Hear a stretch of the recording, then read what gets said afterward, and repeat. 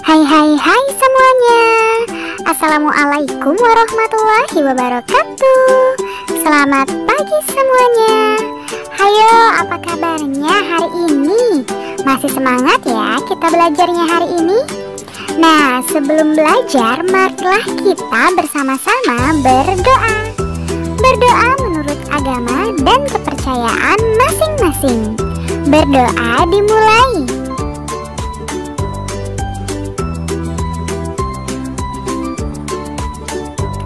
Berdoa selesai. Nah hari ini kita akan belajar bersama materi kelas 3 tema 1 Subtema 3 pembelajaran 1 mengenai pertumbuhan hewan. Ayo kita belajar bersama ya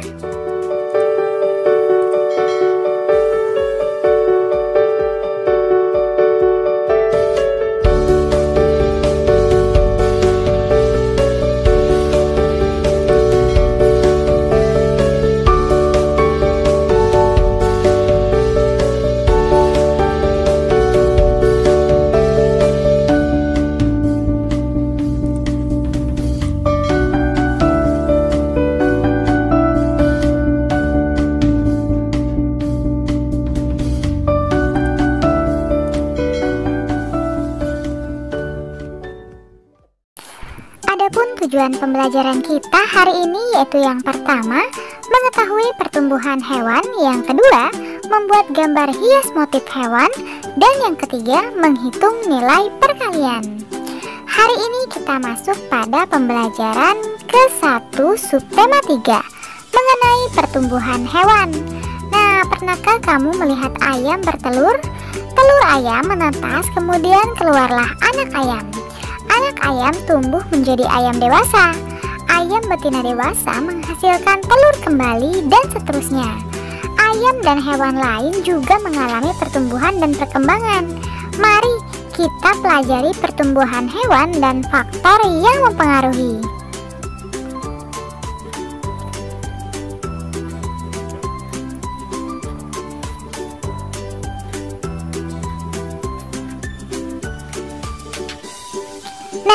Sekarang ayo kita mengamati. Amatilah gambar berikut ini. Perhatikan mulai dari telur hingga menjadi ayam dewasa. Judulnya pertumbuhan ayam. Ayam merupakan salah satu makhluk hidup. Tubuh ayam berbulu dan memiliki dua kaki.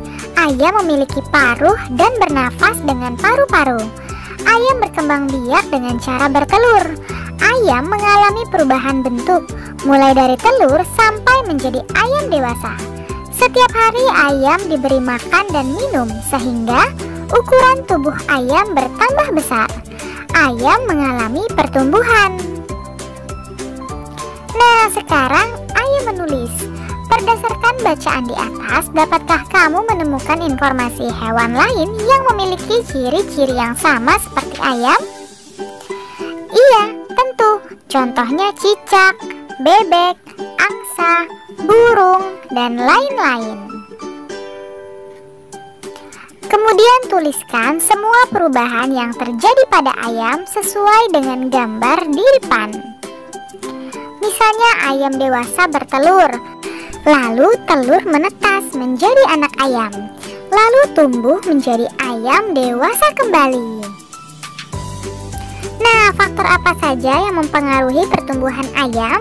Coba kalian tanyakan kepada orang tuamu, lalu tulislah di bukumu masing-masing. Sekarang ayo bercerita, apakah kamu memelihara ayam atau hewan lainnya di rumah? Pernahkah kamu mengamati gambar hias bermotif hewan? Jika pernah, ceritakan ciri-cirinya di depan teman-temanmu. Ayo berkreasi, cobalah membuat gambar hias bermotif hewan yang kamu sukai. Sebelum menggambar hias bermotif hewan, berlatihlah terlebih dahulu menggambar berbagai garis seperti contoh berikut. Perhatikan pula contoh gambar induk dan anak ayamnya. Cobalah berlatih mengikuti contoh garis yang ada.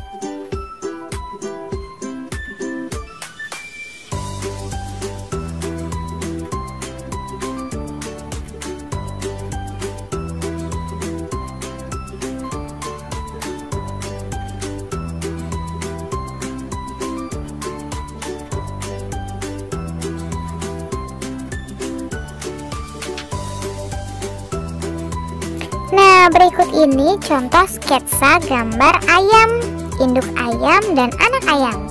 Silakan kalian gambar di bukumu masing-masing ya, mengikuti petunjuk berikut.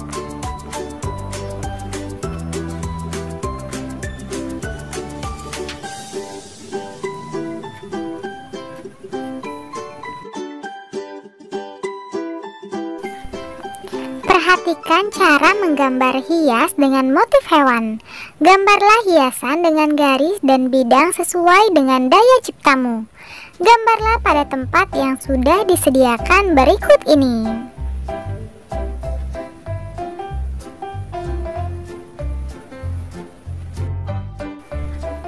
Udin memiliki hewan peliharaan. Hewan peliharaan Udin adalah dua ayam betina dan dua ayam jantan. Kedua ayam betina peliharaan Udin bertelur. Masing-masing ayam betina bertelur 10 butir.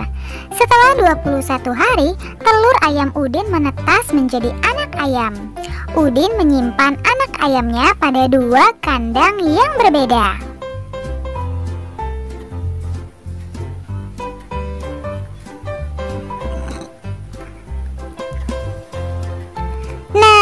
Berapa banyak anak ayam Udin semuanya?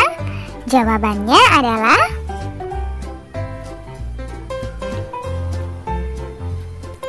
Satu kandang terdiri dari 10 anak ayam. Artinya 10 ditambah 10 sama dengan 20 Nah jika ditulis dalam bentuk perkalian menjadi 2 dikali 10 sama dengan 20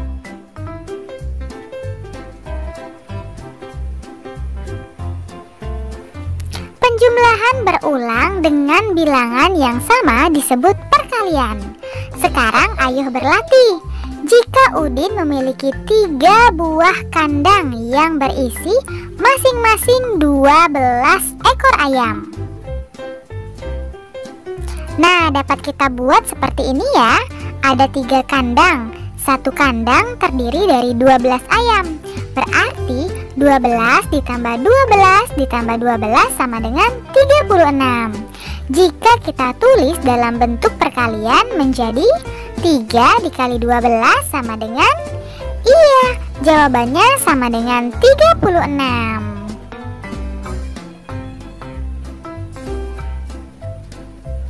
Adapun kita dapat mengerjakan dengan cara lain. Misalnya 12 sama dengan Artinya 10 ditambah 2 Nah kalikan masing-masing bilangan 10 dan 2 dengan angka 3 Lalu jumlahkan hasilnya.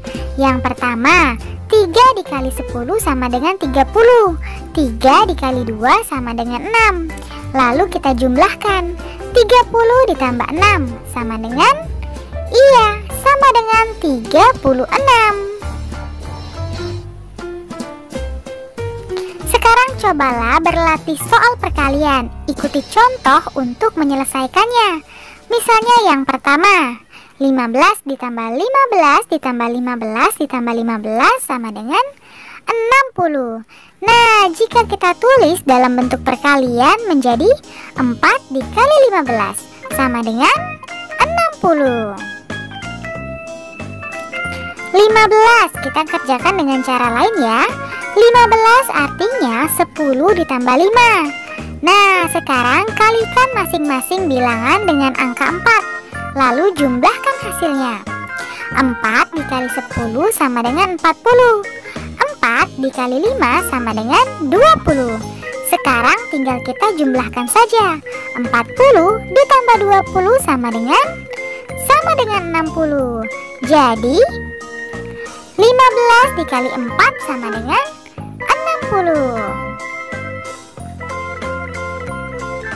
dalam perkalian dua bilangan berlaku sifat pertukaran. Misalnya, 2 dikali 3 sama dengan 3 ditambah 3 sama dengan 6. Lalu 3 dikali 2. Artinya 2 ditambah 2 ditambah 2 sama dengan 6. Jadi 2 dikali 3 itu sama saja dengan 3 dikali 2.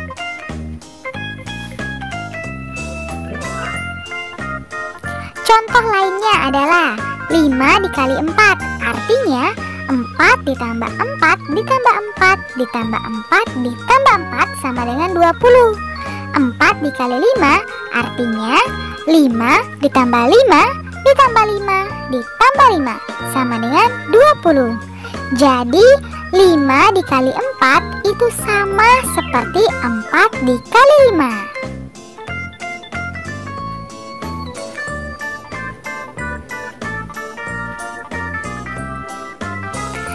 Untuk menyelesaikan perkalian bilangan yang besar, perhatikan contoh berikut. Yang pertama, 2 dikali 210. Sifat pertukaran perkalian adalah 2 dikali 210, sama dengan 210 dikali 2. Nah, 210 itu jika kita bongkar menjadi 200 ditambah 10 ditambah 0. Kemudian kalikan masing-masing bilangan dengan angka 2 2 dikali 200 sama dengan 400 2 dikali 10 sama dengan 20 Dan 2 dikali 0 sama dengan 0 Lalu tinggal kita jumlahkan saja ya.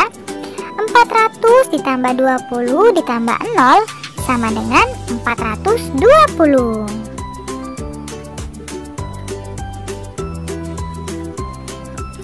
Ada juga cara lainnya lagi.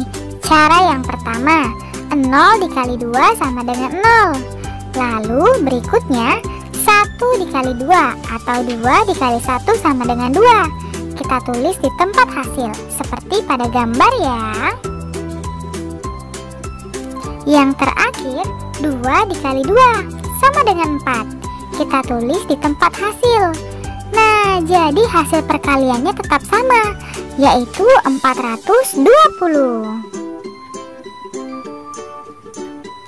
Sekarang ayo kita selesaikan soal perkalian berikut sesuai contoh. Yang pertama, 110 dikali 4 dapat kita buat menjadi seperti ini ya. 0 dikali 4 sama dengan Iya, sama dengan 0. Lanjut di sebelahnya ya. 4 dikali 1 sama dengan sama dengan 4. Lalu kita lanjut ke sebelahnya lagi.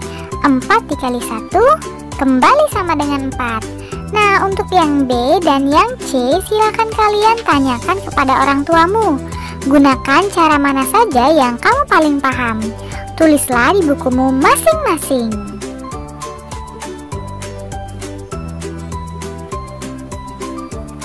Nah untuk kegiatan bersama orang tua Orang tua menceritakan pengalaman kepada siswa mengenai hewan yang ia kenal.